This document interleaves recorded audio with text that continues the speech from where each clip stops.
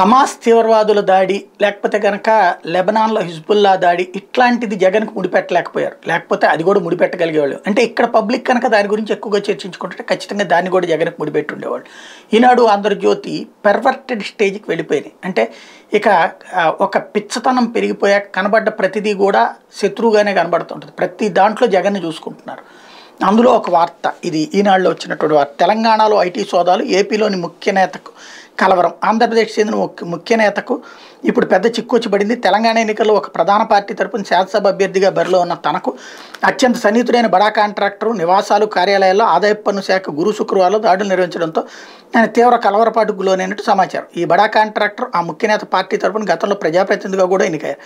ఏపీలో గత కొన్నేళ్ళుగా నీటిపారుదల విద్యుత్ మైనింగ్ తదితర కీలక రంగాల్లోని కొన్ని వందల కోట్ల రూపాయల విలువైన ప్రాజెక్టులు ఈ బడా కాంట్రాక్టర్లకే దక్కాయి. విద్యుత్ రంగంలో పదకొండు వందల తొంభై నాలుగు కోట్ల విలువైన ప్రాజెక్టును అంచనా విలువ పెంచేసి మరి ఆయన కట్టబెట్టారు. నీటిపారుదల శాఖలో రెండు వందల డెబ్బై కోట్ల విలువైన పూడికితీత ప్రాజెక్టు ఆయనకి అప్పగించారు. ఇందుకోసం ఉన్నతాధికారి సెలవుపై పంపించేసి మరి పని చక్కబెట్టారు ఏపీలోని మూడు జిల్లాల పరిధిలోని చిన్న తరహా ఖనిజాల సీనరేజ్ వసూల బాధ్యతలు ఈ బడా కాంట్రాక్టర్కి సంబంధించిన సంస్థలే నిర్వహిస్తున్నాయి. ఈ నేపథ్యంలో ఐటీ దాడుల్లో తెరవనక వ్యవహారాలు లొసుగులు ఏమైనా బయటపడతాయని ఏపీలోని ముఖ్య నేతలు ఆయనతో పాటు నెంబర్ టూగా చలమణవుతున్న మరో నాయకుడు కూడా ఉలిక్కి పడుతున్నట్టు అక్కడ రాజకీయ వర్గాల ప్రచారం జరుగుతుంది.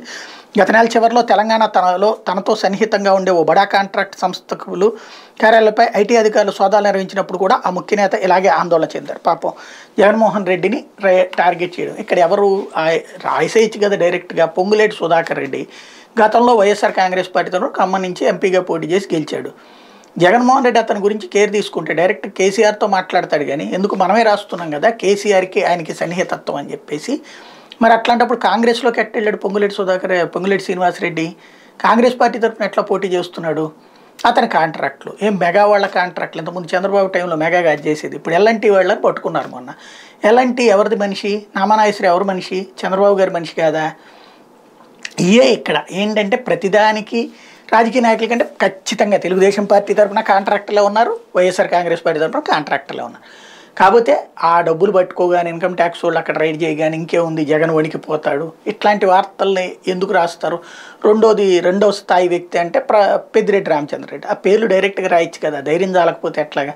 పరువు నష్టం వేస్తారని భయమా? రెండో పాయింట్ ఏంటంటే అక్కడ ఇన్కమ్ ట్యాక్స్లో పట్టుబడితే ఇక్కడ దొరికిపోతుంది. ఏముంటుంది? కాంట్రాక్ట్ తీసుకున్నారు. కాంట్రాక్ట్ తీసుకుని ఏమైనా డబ్బులు ఏమైనా జగన్కి ఇచ్చాడని చెప్పి డైరెక్ట్గా ఒకవేళ ఇచ్చేటట్టయితే ఏ అధికారికి లెక్కల్లో చూపెడతారా? ఎత్తుకొచ్చి కట్టలు ఇస్తారు అంతే కదా? ఏం చంద్రబాబు కట్టలు ఇవ్వకుండా పని నడిచిందా? తప్పు ఎక్కడ జరిగినా తప్పు అంటామంటే అనం. ఒకటి తప్పుని సమర్థించుకుంటాం ఇంకొకళ్ళ తప్పుని రివర్స్ చేస్తుంటాం. అందులో భాగంగా రాసుకొచ్చే వార్తలు ఇవి.